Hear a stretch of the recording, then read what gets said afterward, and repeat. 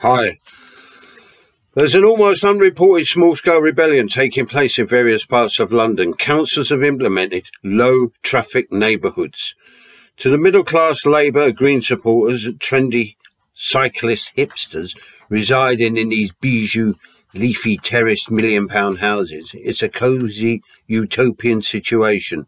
Bollards, other obstructions, prevent unwanted traffic passing through their privileged enclaves.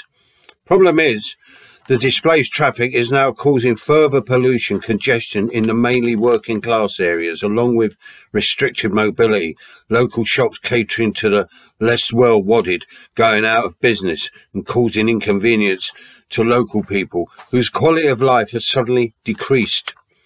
With the support of London Mayor Sadiq Khan, the local councils have railroaded these measures through without consultation, arrogantly dismissing objections from affected communities. What is noticeable is that the protests consist of mostly working class objectors. These are grassroots organisations, no support from any political parties, no paper sellers and placards from the usual suspects. Ominously, they have been under attack from liberal trolls, hinting that they are racist and dominated by closet UKIP types. These are patent untruths.